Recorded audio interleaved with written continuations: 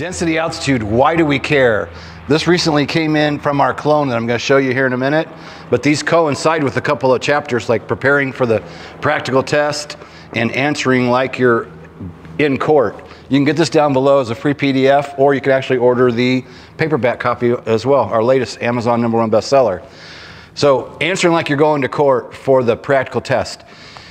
Two things examiners are going to ask you about every single check ride is density altitude and pressure altitude. And I want to give you two short definitions because you want short, sweet definitions to just pop off to the examiner. But first, let's cover the question of why do we care about density altitude? And we're going to use hogs, askhogs.com.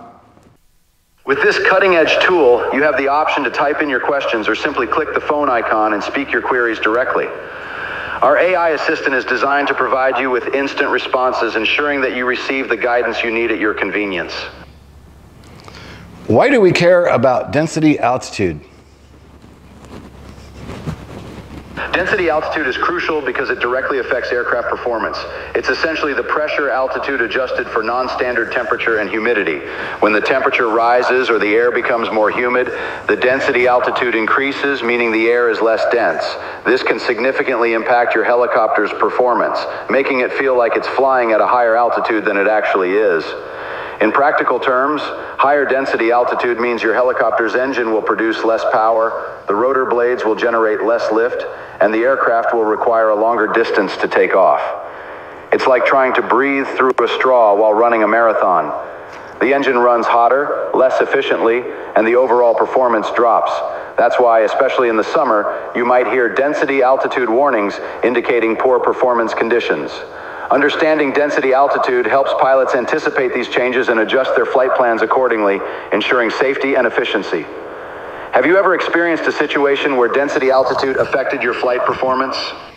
Okay, so now I'm going to have Lindsay grab the camera here in a second, and we're going to show you something in the aircraft. So the examiner is going to ask you, what is density altitude?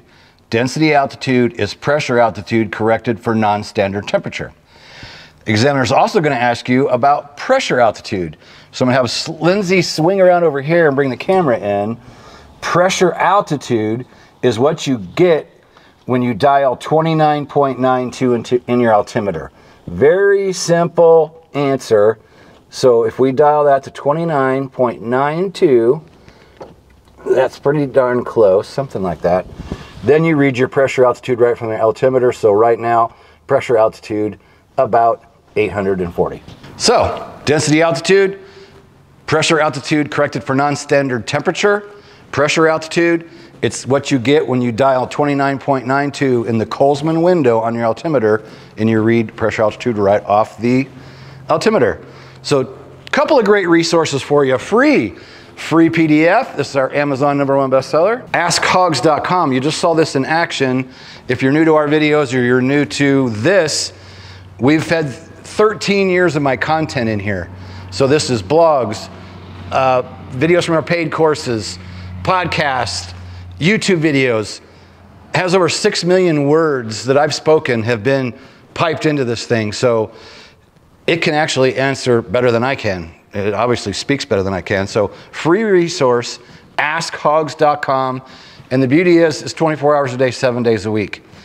But yes, we know that's annoying at times when you want to talk to a real person. So our customer service is not going away. That's still available at 574 767 1797. You can still talk to a live person at Hogs, but at times she has to sleep. This is available 24 7. So, links down below. Come back tomorrow for something else fun and exciting. Peace out.